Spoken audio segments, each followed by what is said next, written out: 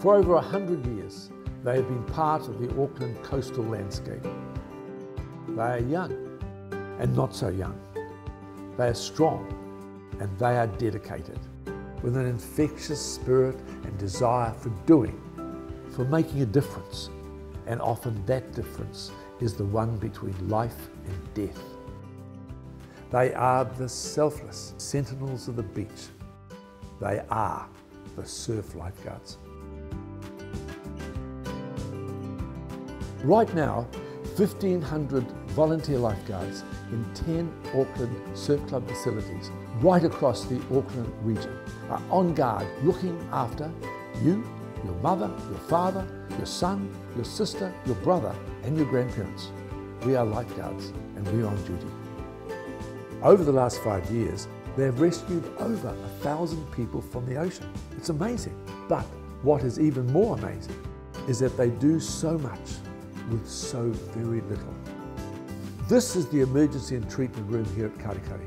It's not what you would call a state-of-the-art facility, more a state of disrepair, a very sad state. Yet right here, hundreds and maybe thousands of people have been stitched, strapped and bandaged, defibrillated, resuscitated. But now it's the buildings that are in critical condition. Our buildings are unwell. Our facilities need rescuing. The facilities are old and tired, and that makes their job all the more difficult. At best, it's the inconvenience of broken plumbing. At worst, it could mean a loss of life due to a failure of equipment. And we're not just talking about the facility here at Karekare. Many of Auckland's surf life saving facilities are in strife. They're all struggling to keep their heads above water. The facility stands like a rock behind every single lifeguard. And that facility needs to stand strong like a lifeguard. We depend on these facilities in situations that seldom come with a second chance.